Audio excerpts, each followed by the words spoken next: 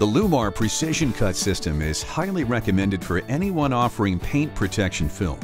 The system allows you to cut your own patterns, reduce film waste, increase productivity, and minimize operating costs.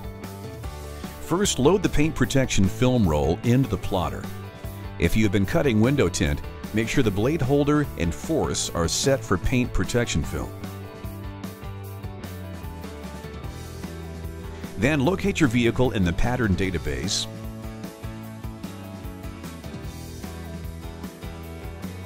and select the patterns you need for installation. Be sure to select the proper submodel from the menu before cutting. Cut the patterns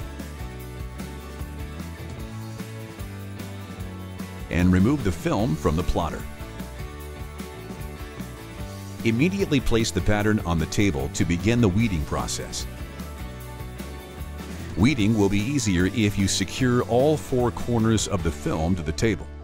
Remove a small section of the liner from a corner of the film and then stick that corner of the film to the table. Then make a parallel cut in the film layer about an inch beyond the linerless section. Repeat these steps on all four corners. Once the film is secured, lift one corner of the film and begin peeling. Remove the excess material from the liner. Watch for plot lines so you do not accidentally remove part of the pattern. It should remain adhered to the liner.